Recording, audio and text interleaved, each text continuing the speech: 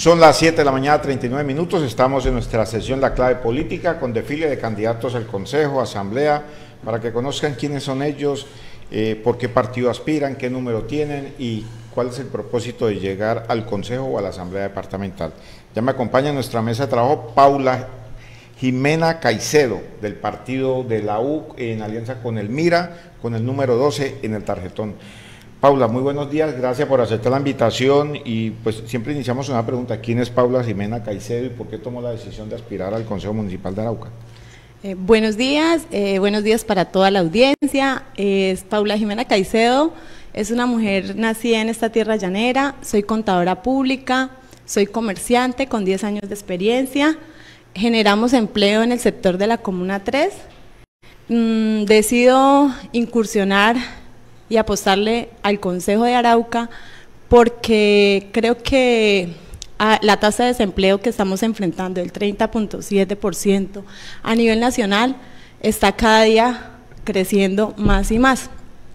Como comerciante y generadora de empleo, creo firmemente en apostarle a los emprendedores, a los microempresarios y a los comerciantes, que son los que generan empleo. Los emprendedores de hoy serán los generadores de empleo de mañana. Y nunca se ha tenido un acompañamiento. Después de la pandemia COVID-19, em, el comercio quedó desarticulado, quedó desamparado, muchas empresas quebraron, entonces no ha habido como una política pública que ayude y que contribuya a esto. Bueno, eh, Paula, muchos dirán, bueno, usted es comerciante, está bien, toma esa decisión de, aspirar al consejo? Eh, eso dice la gente, ¿no? O sea, desde los comerciantes somos muy apáticos a la política como tal, ¿sí? Porque siempre pensamos, eh, nosotros tenemos nuestro negocio, gane quien gane o pierda quien pierda, nosotros nos levantamos a echar para adelante. Pues resulta que también influye la buena gobernabilidad en el sector comercial porque después de nosotros tener 15 empleados, hoy tenemos 3 empleados nada más, porque nuestros ingresos a las entidades eh, como el IDEAR o el Caraván, que ellos supuestamente nos hacen préstamos a nosotros los emprendedores de Arauca o a los empresarios, a los comerciantes, pero esas tasas con esos altos, eh, altas tasas de interés pues no nos sirven. Eh, otra cosa, eh, acá cuando tú quieres iniciar o emprender un negocio, tú inviertes eh, un capital y tú al otro año, así tu negocio funcione o no funcione, ya debes un impuesto en la alcaldía. Entonces, ¿por qué no proponer que este impuesto de la alcaldía sea un impuesto progresivo? ¿sí? Que le den al emprendedor tres años, dos años para empezar a, pagar un impuesto, porque a veces hay gente que quiebra y queda con una deuda en la alcaldía. Los, los, los, emprendedores o los comerciantes no se legalizan, ¿por qué? Porque usted como comerciante o como emprendedor se legaliza y usted tiene obligaciones, pero no tiene beneficios. Entonces, ¿a quién le sirve eso? Aparte de todo, la seguridad. ¿Sí? Como comerciantes, estamos en una ciudad que está insegura. ¿Sí? que a muchos de nosotros nos llegan a cobrar extorsiones.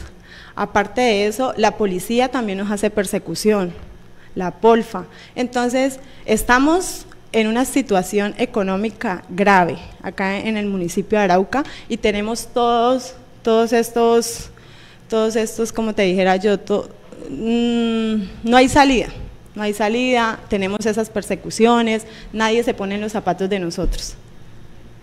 Bueno, esa, esa, es, eh, es, un buen proyecto de, lo de los impuestos y eso, pero la ley se los permite, de pronto Pablo se lo puede permitir que puedan reducir o que tengan un stand-by de, esto. Sí, el, el, impuesto de industria y comercio es, está a disposición del futuro alcalde o la futura alcaldesa. Esta es una iniciativa que quiero proponer. ¿sí?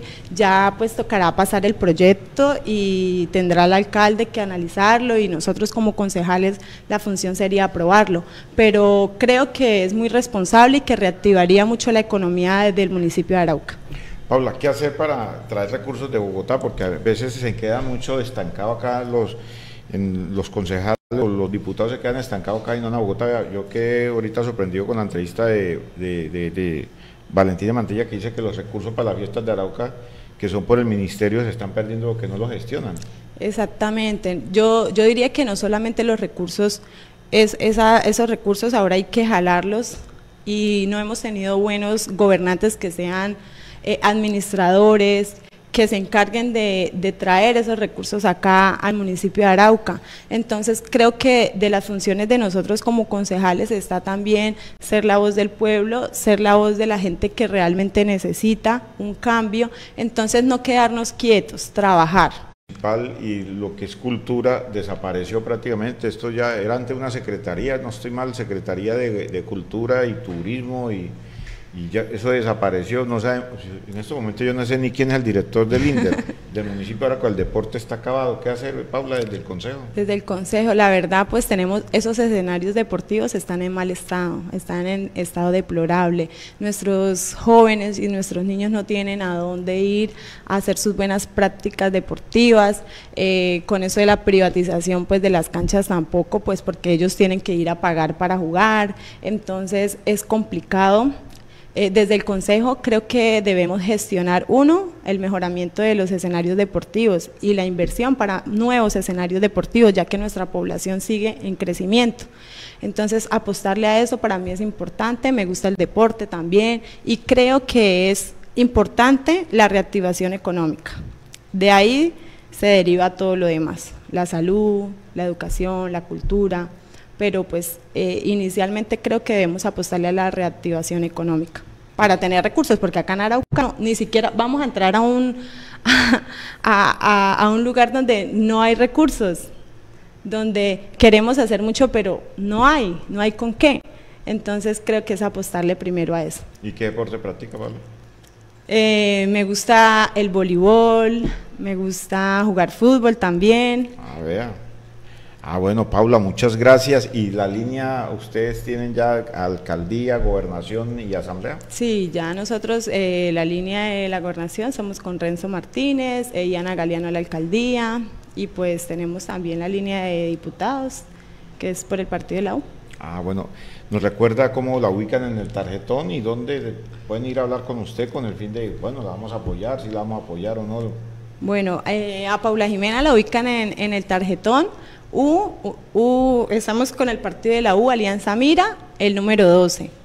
Nuestra, nuestra visión es emprender y me ubican en el barrio Pedronel Jiménez, en Ferretería El Constructor o Ferrecerámicas El Obrero. Bueno, Paula Caicedo, muchas gracias por aceptar la invitación y esperamos tenerla más adelante cuando ya estemos finalizando esta campaña política. Claro que sí, aquí estaremos.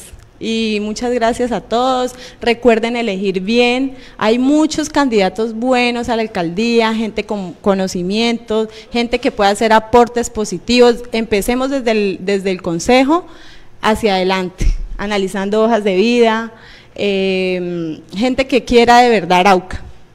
Muchas gracias. Paula Jimena Caicedo, candidata al Consejo eh, del municipio de Arauca por el partido U Alianza Mira con el número 12 en el tarjetón. Vamos a una pequeña pausa y ya regresamos con un invitado a la Asamblea Departamental.